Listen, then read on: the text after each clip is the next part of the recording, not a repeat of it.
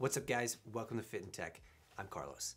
Today we're going to be talking about the five odd things that you should have as a beginner videographer. The fifth thing is down below and we'll get to that at the end of the video. But first, let's talk about these four. And I'm glad you're here because I'm excited to get into it. So, let's get into it.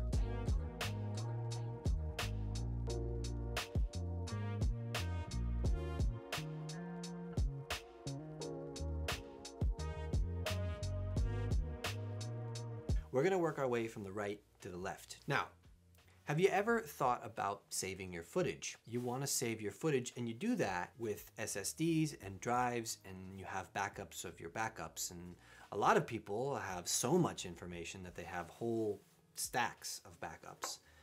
Well, in exactly the same way, you're gonna wanna back up the information you learn on set or from your internships or wherever you work. This is important to do because if you don't have it, you may need it in the future and now you can't look back on it or find it and you'll have to rely on your memory. And we're human and we forget things. So if you want to avoid that, then I recommend you get yourself a little diary or a little notebook. These notebooks are phenomenal. Some of these notebooks have lines on them so you can write stuff, and some of them don't. Others have grids and boxes and dots. So it just really depends on the kind you want. These ones over here I have used up. One is for writing my thoughts and ideas, and another one is for writing things that I've learned, like direct information as opposed to what I felt about it, what I thought about it, what it meant to me. And you can see here that you know there's interview questions, uh, information that clients have required be in their process. Uh, you know, setting up a cinematography workshop, all the things that I needed to do for that, shot lists, lighting, all that kind of stuff. It's in here, and I have it every time I need to take a look at it. These are not very expensive, and usually you can get a two pack or a three pack or a whole set. The reason why I chose this one in particular is, as you can see with this one, there's nowhere to put my pen, and so my pen can get lost in the universe as opposed to getting lost on my page, which is where I want the information to go. So I have one here able to contain a pen. Now, also with this one, it has tabs that I could organize more if I needed to, or for others if they needed to take a look at this information as well. I'm probably not gonna use that. I may use that for another book, that's totally fine. But I would recommend you get something like this where you can write your notes or draw pictures. All right, so the second one we're gonna talk about is this right here, and everybody should have a multi-tool. Now the multi-tools come in a variety of setups, which are, you know, some are flatheads, some are specifically designed for camera work, um, some are just general use. Now this one here is a bike tool I got for like $11 seven years ago. I'm pretty thrilled with this. It's flat, so I can store it in a lot of places where it's not gonna cause any issue.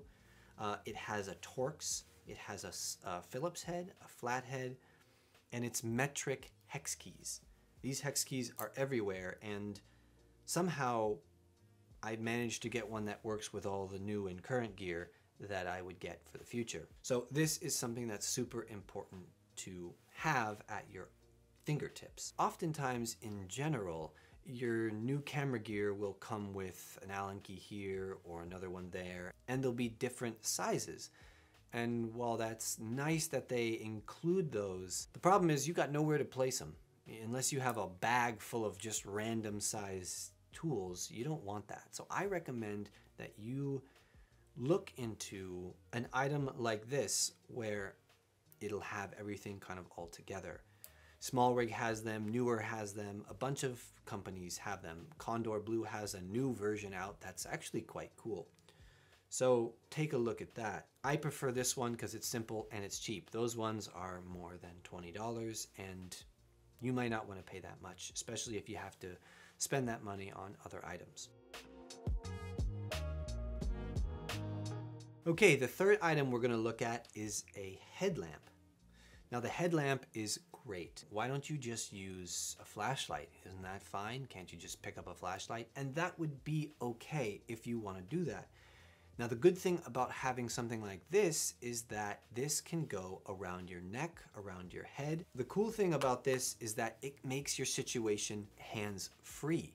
So now you can pick up things, you can turn it on and see what you're looking for. You can let it hang and still operate and still see what you have in your hands. You can fix things. You can, if you put it up here, of course, you can now hands-free fix whatever you want on your camera rig or if you're you know in a studio, if you're in a dark room and see much better with this. A flashlight, you're going to be holding it and you only have one hand that's free. So that's why I recommend something like this headlamp. This I got specifically without the red feature so that I don't have to worry about dealing with that when I'm fixing up a camera or look, searching in my bag. I don't have to switch through all those modes.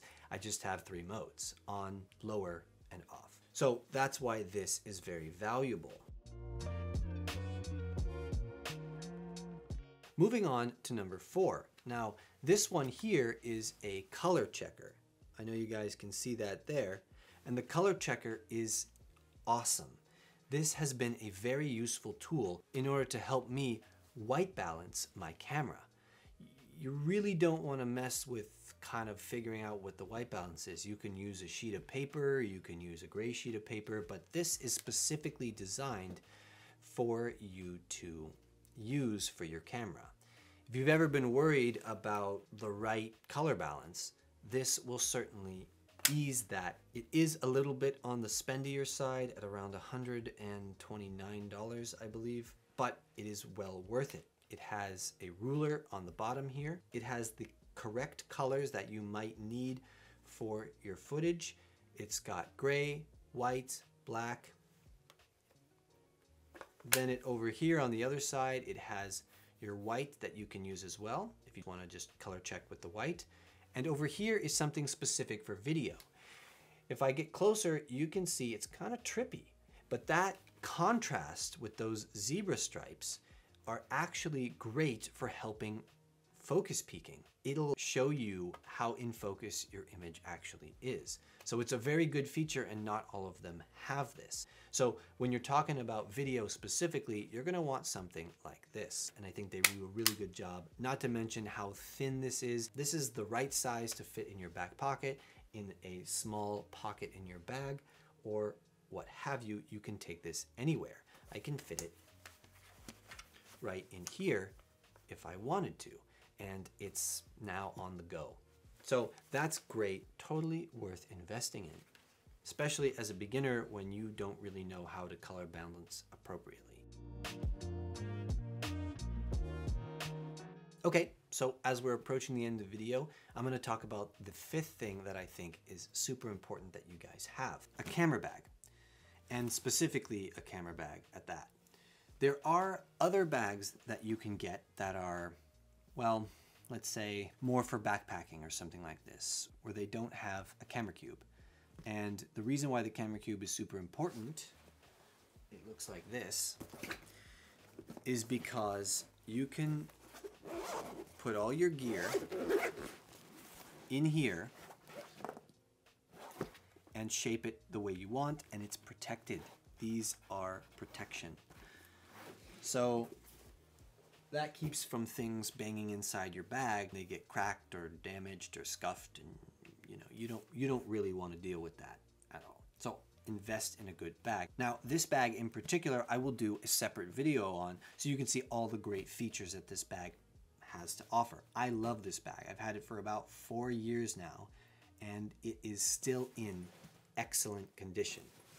I've taken this bag to Spain, I've taken it to Oregon, I've taken it to New Mexico and Arizona. And so this bag has been to a lot of places. It's held up very well. Sometimes it gets scuffed up, but that's okay. That's what's meant to happen. It's supposed to protect my gear. The reason why I'm saying you should get something like this instead of one of those simple backpacking bags is also because this is weatherproof this can hold more than just my camera stuff.